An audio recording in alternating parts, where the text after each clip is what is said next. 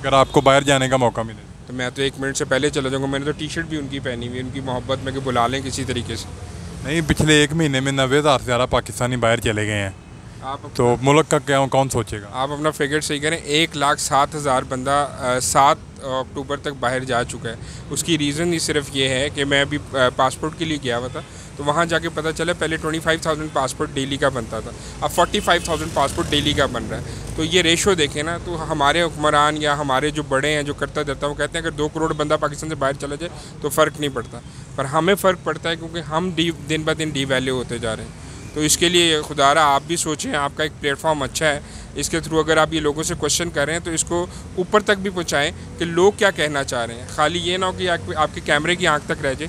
कारण ये लोगों तक ऊपर जो बैठे हैं ना उनको पता चले कि लोग जो यहाँ से जा रहे हैं ना यहाँ कोई अच्छा टेक्नीशियन होगा ना कोई यहाँ अच्छा डॉक्टर होगा ना यहाँ कोई अच्छा इंजीनियर होगा तो फिर हम इस मुल्क को लेके क्या कैसे चलेंगे? हम तो चल ही नहीं सकते इस मुल्क को लेके। बिल्कुल ऐसे ही है और हुक्मरानों का कोई नहीं।